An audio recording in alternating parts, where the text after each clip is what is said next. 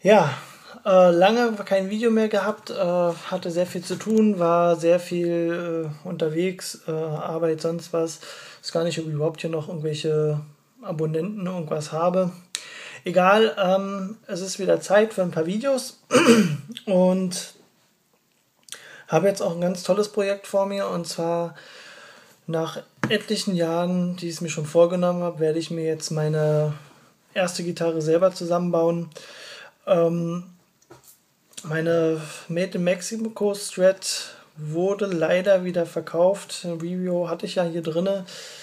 Ähm, ja, hatte ein paar Gründe. Auf jeden Fall wird es deswegen auch eine Stratocaster werden. Ähm, ich habe echt lange durchs Internet gestöbert und lange gesucht und ähm, war eigentlich schon drauf und dran, über Vamos die äh, Body- und Halsteile zu bestellen. Wollte das Ganze auch relativ, ähm, ja, sage ich mal, individuell haben mit Mahagoni-Body und alles für einen wärmeren, fetteren Ton.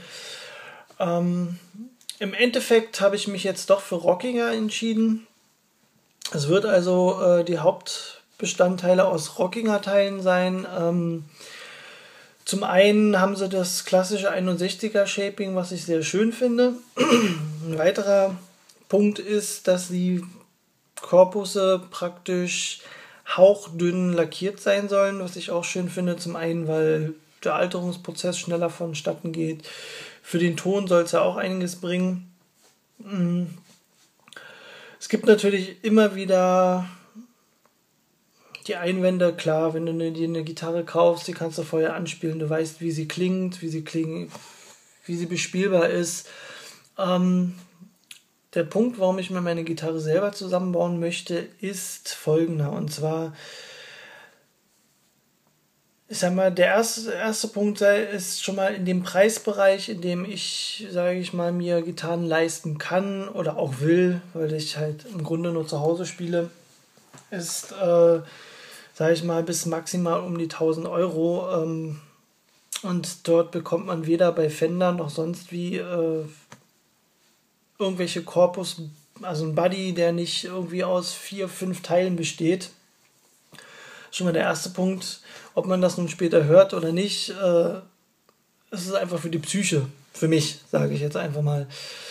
Der nächste Punkt ist, äh, die Lackierung, ähm, ich habe es jetzt bei einigen Gitarren äh, mal mitbekommen, ist einfach wirklich, da sind so dicke Lackschichten teilweise drauf. Und ich habe mir den Spaß wirklich gemacht bei meiner äh, Epiphone Les Paul und habe mal äh, ein bisschen auch am Hals habe ich, hab ich den Lack runtergeschmürgelt. Und siehe da, sie vibriert und sie resoniert wesentlich mehr. Es ist natürlich immer noch keine richtige Les Paul, aber es ist ein Unterschied da. Ähm, von daher war mein erster Grundgedanke auch äh, mit dem Vamos Buddy den äh, Unfinished zu bestellen und nur mit einem Shell-Lack oder mit einem Ölfinish zu, äh, zu ver versehen. Vielleicht noch eine kleine Beizung. Ähm, bin jetzt, wie gesagt, doch bei Rockinger gelandet, ähm, zum Teil auch aus den Kostengründen. Ähm, Vamos hat zwar sehr gute Preise, allerdings durch die Einfuhrsteuer, äh, Tax, äh, Gebühren ähm, geht der Preis dann doch ein bisschen in die Höhe. Und gerade auch beim ersten Gitarrenbau, ich weiß es nicht, was dabei rauskommt, ähm, wie es wird, wie es mir gefällt. Und kann natürlich sein, dass das vielleicht alles nicht so wird. Und deswegen dachte ich, fängst du erstmal ein bisschen kleiner an. Auf der anderen Seite habe ich mir auch gedacht, ähm, deutsches Fabrikat, deutsche Gitarre, die meisten Teile werden auch äh, deutscher Herkunft sein. Ähm, warum nicht? Ähm, ja, weiter im Takt.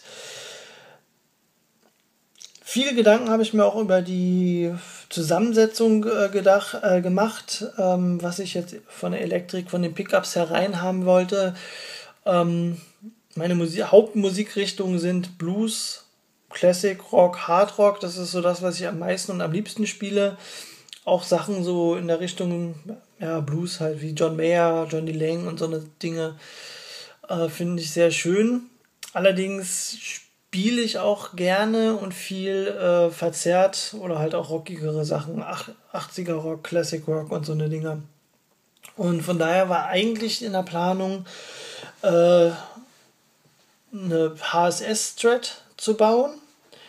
Die HSS-Thread ähm, ja, hatte mir eigentlich ursprünglich war immer mein Wunsch, wo ich angefangen hatte mit dem Selbstbau darüber nachzudenken, wäre es die Marizo Puff Pro Hamburger und zwei Texas Specials geworden, also Single Coils geworden. Ähm, war dann schon im Nachhinein überlegen, am überlegen, den äh, die Marizo Puff Pro gegen einen Pearly Gates auszutauschen. Bin dann immer weiter in den Überlegungen gekommen, wollte eventuell auch etwas mehr ähm, Vintage-lastigeres haben und war eigentlich auch sehr positiv angetan von den Videos, die es bei Session Off gibt. Und zwar mit den Kloppmann-Pickups. Und ich muss für meinen Teil sagen, ich höre also auch in den Videos einen Unterschied oder die klingen sehr, sehr gut. Allerdings ist halt die Frage, ob der Preis äh, gerechtfertigt ist. Ähm, das muss jeder für sich selber entscheiden. Ich habe mich jetzt erstmal dafür entschieden, ähm, nicht auf die Kloppmanns zu gehen, weil es einfach, also beim, für ein HSS-Set um die 600 Euro. Ähm, ich weiß nicht, wie die Gitarre wird. Äh, und im Grunde, ich spiele eigentlich nur zu Hause für mich und das ist, wäre, denke ich mal, schon etwas übertrieben.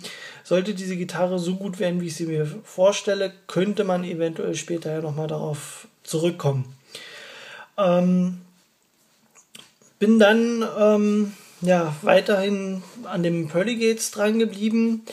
Habe mir dann für die Single Coils äh, überlegt, äh, wie gesagt, die Texas Special oder irgendwelche Vintage Pickups und habe mir dann bei endliche Sound Samples äh, bin ich eigentlich mit diesen 69er Custom von Fender ganz warm geworden, weil die ja schon einen wärmeren Klang haben. Also es ist, kommt natürlich wie immer dann auch drauf an, auf welche Gitarre sie kommen, wie die Gitarre klingt, aber ich kann mir ja nun auch nicht äh, 20 verschiedene Pickups kaufen, die alle durchtesten, zumindest am Anfang nicht. Man kann ja mit der Zeit nochmal gucken. Und ähm, ja, so habe ich halt bei Thomann immer im Vergleich gehört, die ganzen Pickups. Da kann man ja auf der Webseite schön äh, sich äh, die Sounds anhören und hoffe einfach mal, dass sie da ungefähr die gleiche Gitarre für die verschiedenen Pickups benutzt haben. Ich weiß es nicht.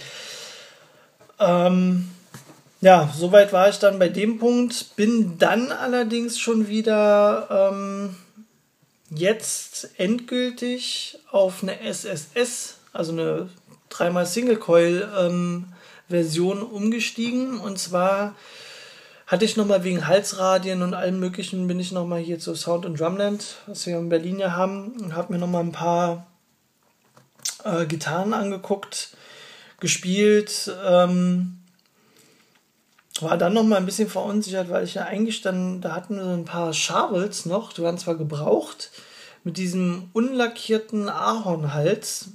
Und das ist schon, die spielen sich schon echt geil, muss ich sagen. Aber okay, es geht wieder am Thema vorbei. Bin dann, stand dann vor der Fenderwand und da hing, es war eine Mexico Classic, glaube ich, in schwarz, 60s mit einem äh, Rosewood-Griffbrett äh, und einer, ähm, ja, diesen mintgrünen, diesen mintgrünen Pickard in einer 3 Single-Coil-Version und eigentlich im Grunde fast so wie die John Mayer Black One bloß halt äh, nicht mit der Goldhardware. Und die sah einfach geil aus. Also ich stand davor und fand die sah wirklich super klassisch, super toll aus. Und bin dann dazu übergeschwenkt und habe gesagt, okay, es wird eine SSS in diesem, diesem Finish. Und ja, ich stand einfach davor, ich habe die gespielt. Äh, ich muss sagen, ich habe da einige noch angespielt und sie klangen nicht so toll. Also ist ja jede Gitarre klingt anders. Habe da auch noch andere äh, Mexico Classics angespielt, die besser klangen, besser resoniert haben. Aber diese Optik hat, hat mich einfach umgehauen und von daher habe ich mich dann entschieden, das, also mein Projekt auch in diesem Bereich äh, zu machen. Es wird eine schwarze Stratocaster mit äh, drei Single Coils. Ja, da ich allerdings doch gerne rocke, habe ich mir erstmal mit den Pickups ähm, für eine Version der Noiseless entschieden. Und zwar die Hot Noiseless, die auch äh, in, sowohl in der Jeff Beck als auch in der Richie Sambora Stratocaster ähm, drin sind, also zumindest in der neueren Version, die 2000, 2001 rauskam von der Richie Sambora Stratocaster. Ähm, die haben auch einen sehr, sehr warmen Klang gehabt, sind auch wohl etwas fetter. Und ähm, was halt hinzukommt, dass sie halt auch verzerrt saugeil klingen. Viele bemängeln, dass es keine richtigen Single Coils sind, dass sie halt irgendwie nicht so diesen wirklichen Single Coil Ton haben. Ähm, ich konnte jetzt natürlich nur von den Hörbeispielen gehen, die man so, die ich so im Internet gefunden habe und muss dazu sagen, dass sie diesen 69er Pickups, die ich mir angehört habe, die mir eigentlich am meisten zugesagt haben, weil sie einen sehr, sehr runden und warmen Sound haben, am nächsten oder eigentlich fast, fast identisch kamen, äh, im verzerrten sogar noch geiler Klang. Und ähm, ja, von daher denke ich mir mal, dass das für mich jetzt zumindest erstmal die richtige Wahl ist. Es kann natürlich immer sein, dass es mit der Zeit oder dass sie in der Gitarre dann nicht so gut klingen oder was auch immer, aber mit irgendwas muss ich ja erstmal anfangen. Also werden das erstmal die äh, Hot Noiseless Pickups werden. Und dann habe ich mir noch ein ganz besonderes äh, Schmankel einfallen lassen. Und zwar stehe ich ja eigentlich äh, auf, auch auf fette Hamburger Sounds. Ähm, und um das zu realisieren, habe ich mir bestellt von äh, Tube Amp Doctor oder so, da gibt es das. Äh, das originale ähm, Eric Clapton Meat Boost Kit mit 25 dB Meat Boost. Auf vieler, also vielen, ähm, sage ich mal, Videos über Eric Clapton Strats, auch die Richie Sambora Strat hat ja den Meat Boost mit drin. Ähm, war ich doch sehr überzeugt. Auch hier ähm, das Video über die TBX Boost äh, Strat, was man in YouTube findet. Ähm, auch die äh, bringt coole Sounds ähm, vorbei.